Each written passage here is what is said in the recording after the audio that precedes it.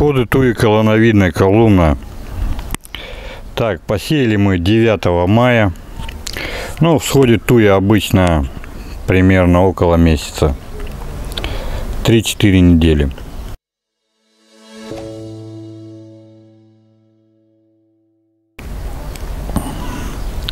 Вот на данный момент она взошла. Сеяли простой грунт песком перемешанный, сверху опад. Ну, я вставлю видео, как мы там сеяли, как придавливали. Результат меня очень порадовал. Сегодня мы приехали, вчера просто был дождь. Надо было накрыть ее. Вот здесь у нас есть гидроизоляция. Надо было ее накрыть. Но, к сожалению, мы не успели накрыть. Ну, он резко пошел. Я думал, здесь будет что-то выбито. Нет, уже все нормально. Уже можно не накрывать. Ну, конечно, если ливни пойдут, то желательно приехать тоже накрыть. Но на данный момент у нас с апреля месяца не было дождя, поэтому я думаю, накрывать уже не будем, так как она пошла очень хорошо. И взошла очень хорошо. Сеял я примерно столько же, сколько и взошло. Ну, процентов 90 взошло однозначно. Поэтому я доволен результатом. Так, грядка небольшая. Ну, тысяч двадцать, наверное, будет. Туи колоновидной колумны.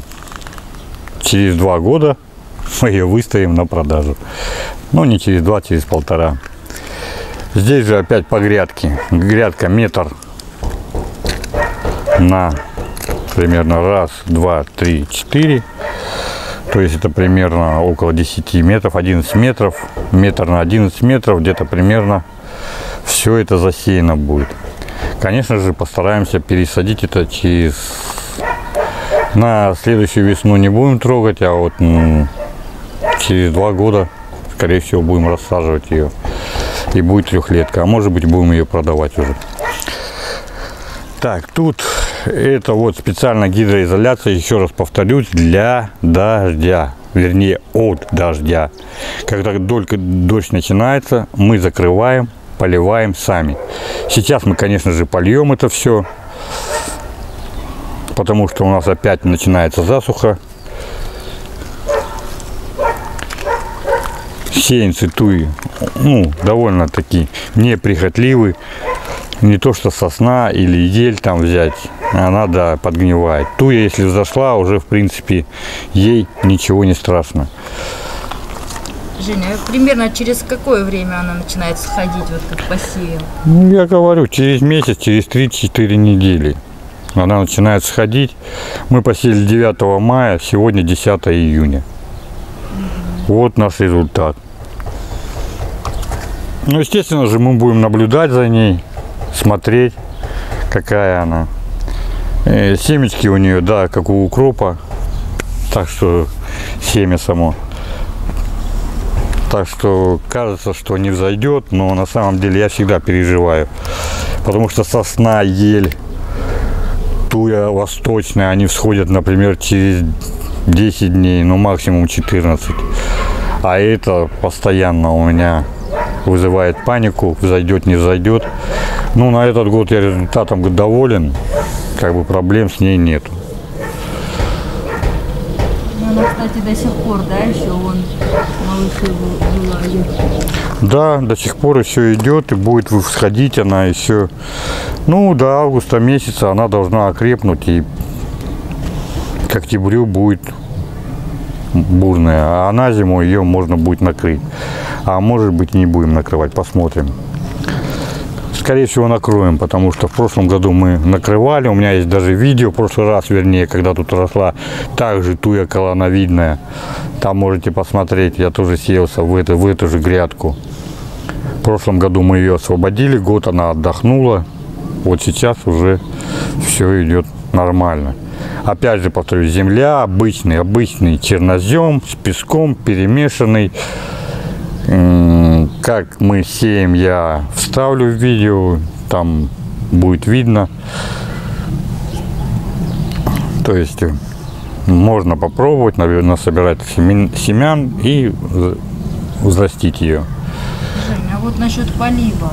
Вот как часто ее нужно поливать? Ну, пока она не взойдет, ее нужно каждый день поливать. Ну, с условием то, что у вас нет дождей, конечно же, а от дождя надо прятать. Соответственно, пока что просто хвойный опад, ничего еще не взошло, не взошло, например, семечко под хвойным опадом, ее просто надо заливать. Когда пустила корешок, конечно же, она начинает сходить. Как только она взошла по поливу, конечно же, тут надо очень аккуратно. Вот сейчас на данный момент, ну да, этот еще, еще здесь мы польем.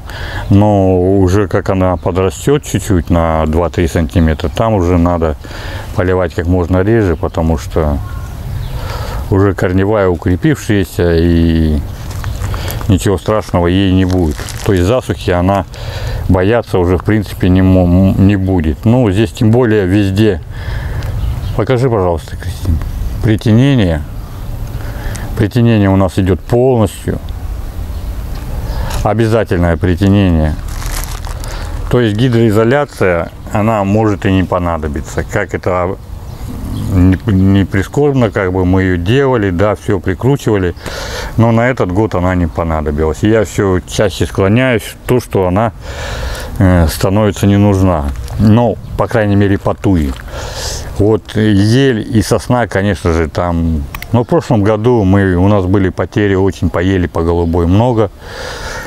Хотя две грядки вот 15-метровых взошли плотно, лучше, чем здесь. И на три недели зарядили дожди. Хотя она была и укрытая, но все равно э, грибок пробрался и повредил некоторые побеги. Ну, ничего страшного, сейчас она двухлетка, там и из двух грядок одна точно осталась живая. Если две грядки компоновать, то они довольно-таки хорошо смотрятся. Ну, то есть э, хватит нам и для продажи, и для рассадки. Там тысяч двадцать будет.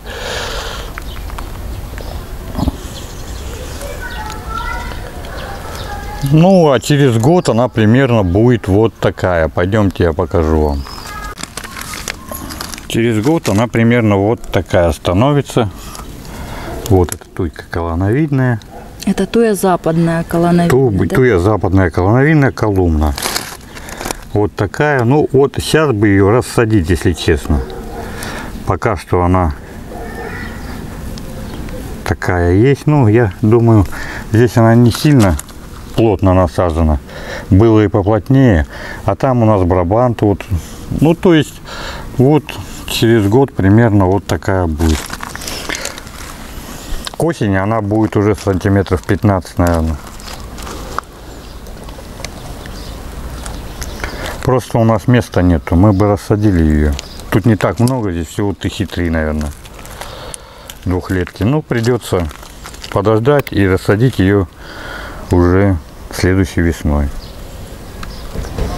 Пораньше, когда продастся определенное количество.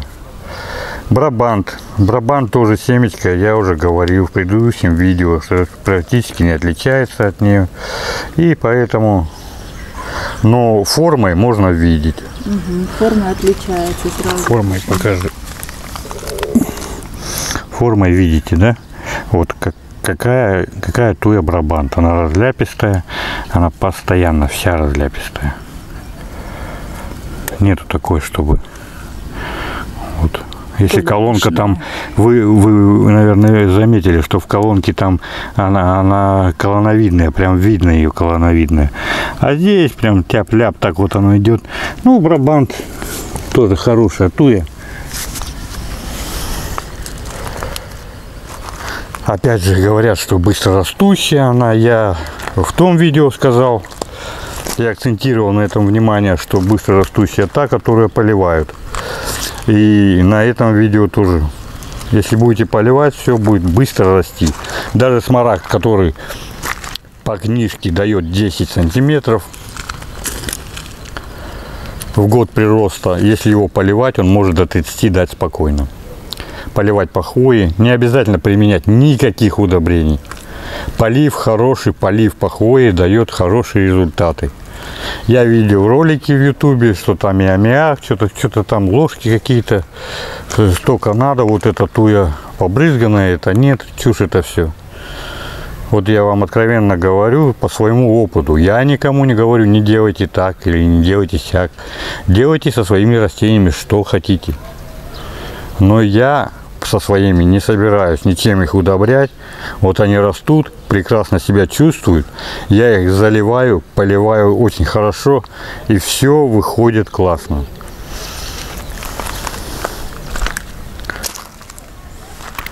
Ну, а впоследствии, если можно видеть,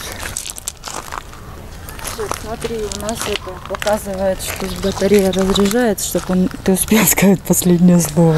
Ну давай вот здесь. И вот она же, да? Да. Ну вот туя колоновидная у нас вот уже, это шестилетка уже будет. Это вот пятилетка рассажена, это шестилетка, но она, поверьте, она к осени настолько наберет, вы ее не узнаете. Она будет примерно вот такая вот. Вот, если брать, ну на сантиметров 25-30 подымется. Это однозначно и будет пышная, вся красивая. Ну, на этом все, уважаемые друзья. Просто хотел показать, поделиться опытом, показать всходы, какого результата мы достигли.